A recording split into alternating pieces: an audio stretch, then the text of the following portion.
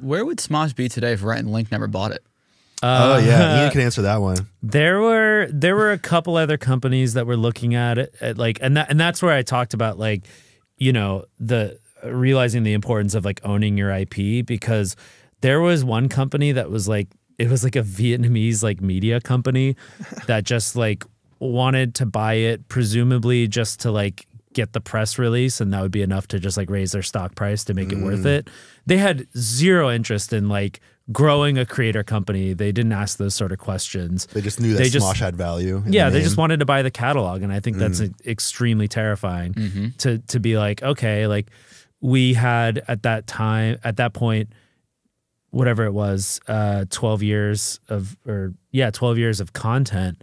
That was like our lives. It was twelve years of our lives, and it could have just wound up in someone else's hands, just chopped up content, just distributed on Facebook without our approval or locked away, Or and- locked and away, never yeah. to be seen Yeah, again. like and so that was like that was super scary um and that's why i'm s- super like i consider us super fortunate to Rhett and Link reached out to me and and were like, "Hey, what's up?" And I was like, "Save us." Yeah, and, and the fact that they they are creators who were our peers and we kind of grew up in this space with them they and they got they, they had very humble beginnings like we did and and because of that they were able to understand where we came from what it was that we wanted to do what we were about so you know of course they they saved smosh from being whatever it would have become otherwise but also when ian and i came back together uh, and to them and presented this idea of you know we're thinking what it what would it be like if we bought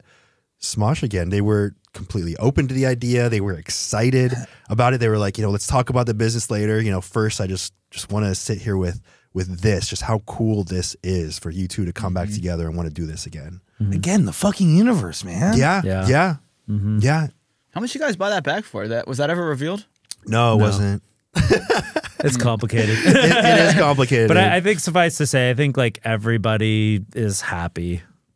I So know it was, it everybody's was happy. it was a very it was a very amicable Great. deal. I think I think everybody's everybody's gonna be happy. But again, you're doing business with people who very much understand because they're right there with you. They Mm-hmm. uh, trailblazed with you. They understand what the pressure and stress is associated with doing what you do. And I don't like that's you couldn't find a better partner in the two of them. I 100% agree. I Agreed. think they have such a good understanding of like the creator economy and running a creator business. And when they talked to me about buying it, they were like, "We don't want to do this without you. It's it's worthless." By the way, a lot of things that they learned probably by watching y'all do what you do and navigate this world. I, Yeah. I, I think that's fair to say. Yeah, I think that we hmm. both learned from each other. But yeah, no, actually, I, I interviewed them and, and they did say that in the beginnings, they were like, what are these two guys from California doing? you know, and they were Yeah. kind of looking to our channel to, I, I don't know, to learn something from. Yeah.